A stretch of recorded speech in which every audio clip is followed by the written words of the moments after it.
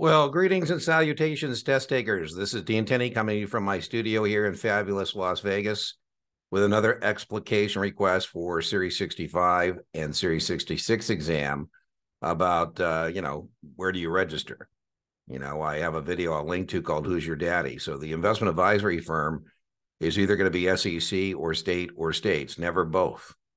So, you know, it's important when you're reading a question to figure out what kind of investment advisor is it?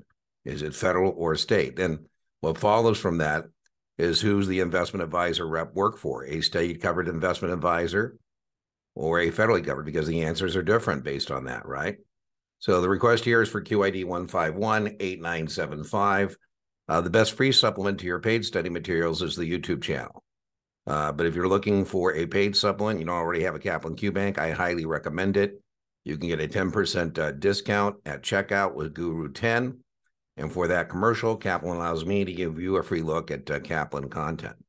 All right, so here we go. Delta Advisors is registered in Alabama, Mississippi, and Louisiana. So we know from that alone now that we're looking at Delta as a state covered advisor. Because remember, it's never both. So once the question says they're registered in a state, that means they're not federally covered because it's never both. So Delta Advisors, very important, is a state investment advisor. All right. So Billy Joe works for Delta Advisors, rendering investment advice to individual clients. He works out of the Delta, excuse me, uh, Delta Jackson's Mississippi office. So he's going to have to register in Mississippi, regardless of how many you know customers he has. He has three clients in Mississippi. Doesn't matter. He has an office in Mississippi. Uh, six clients in Alabama. So he doesn't meet the de minimis in Alabama, so he's going to have to register in Alabama. And Louisiana, he does meet the de minimis. And so he doesn't have to register in Louisiana. So uh, here he has four in Louisiana. So we say Billy is going to have to register in Mississippi because he has an office, in Alabama because he ha- can't avail himself of the de minimis. All right, looks like we got another person in the question we got to look at. Uh, Billy's friend, Bobby Ray, works for Biloxi Investments, a federally covered investment advisor. That's important because a federally covered investment advisor registers with the SEC, period, full stop, no state.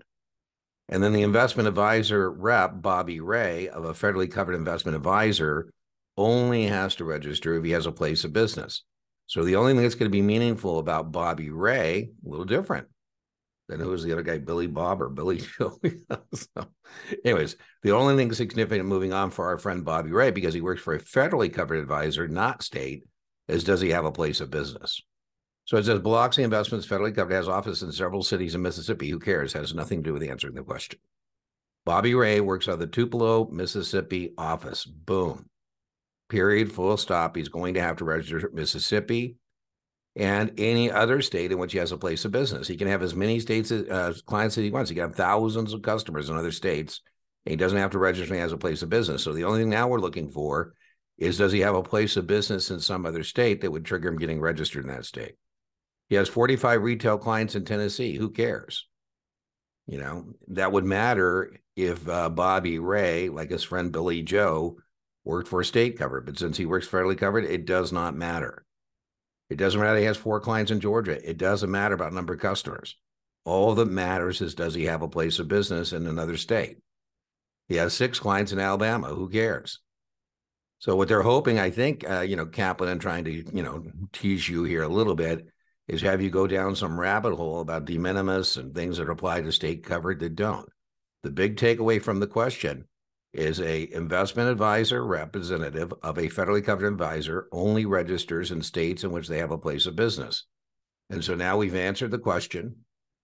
Bobby Ray is going to have to register in Mississippi. So the answer to the question is Billy Joe must register. Billy Joe must register in Mississippi and Alabama.